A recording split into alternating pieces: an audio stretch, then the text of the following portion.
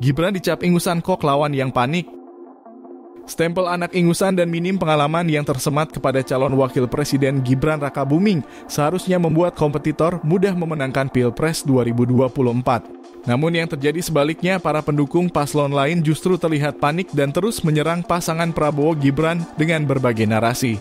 Harusnya para penyerang ini senang karena Prabowo bisa kalah di Pilpres 2024 lantaran Gibran kurang pengalaman. Tapi yang ada mereka malah kelabakan.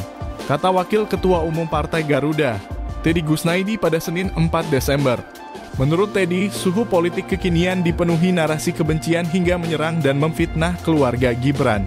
Kondisi ini pun cukup disesalkan karena seharusnya diisi dengan perang gagasan untuk Indonesia ke depan. Ini dilakukan mereka secara masif dan berjemaah tanpa henti, berlomba-lomba siapa yang paling banyak menyerang. Pertanyaannya, Gibran ini sebenarnya melemahkan Prabowo atau melemahkan kalian sih? Tutup Teddy. Sebelumnya, jika kalah lagi di Pilpres, Prabowo sebut akan naik gunung, pensiun. Calon Presiden nomor urut 2 Prabowo Subianto mengaku akan pensiun jika kembali kalah dalam pemilihan presiden. Prabowo juga menyatakan akan mengisi waktunya dengan naik gunung. Saya berdiri di depan rakyat Indonesia, saya minta mandat untuk kita ubah nasib bangsa kita. Ujar Prabowo dalam acara Musyawarah Kerja Nasional Majelis Ulama Indonesia ketiga tahun 2023 yang disiarkan secara daring pada Sabtu 2 Desember 2023. Tapi kalau saudara tidak memberi mandat kepada saya, saya tidak apa-apa. Saya seorang patriot, saya akan naik gunung, pensiun, lanjut dia. Prabowo menegaskan dia hanya ingin melihat bangsa Indonesia terhormat. Karena itu dia dan calon wakil presiden Gibran Raka Buming Raka akan membuat terobosan. Salah satunya dengan menghilangkan kemiskinan di Indonesia. Selain itu Prabowo menuturkan Indonesia harus menjadi bangsa kuat yang tetap menghormati negara-negara lain. Kita hormat sama Anda, hormat sama Amerika, hormat sama Cina, hormat sama semua. Tapi kita harus kuat, itu perjuangan yang harus kita lakukan, tutur dia.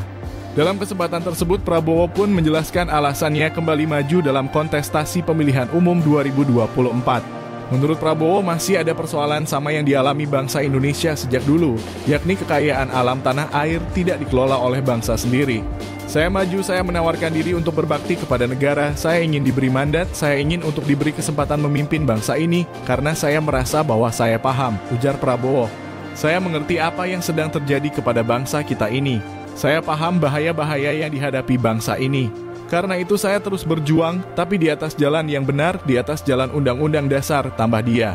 Prabowo pun mengakui meminta mandat dari rakyat agar bisa menjadi pemimpin negara. Jika diberi amanah oleh rakyat, Prabowo berjanji siap bekerja untuk rakyat, bangsa, dan negara. Kalau rakyat tidak memberi mandat ya tidak ada masalah dan saya sudah buktikan berkali-kali, lanjut dia disambut tawa dan tepuk tangan para kiai yang hadir di acara tersebut. Prabowo pun tersenyum dan bercanda dengan melontarkan pertanyaan mengapa ulama menertawakan dirinya.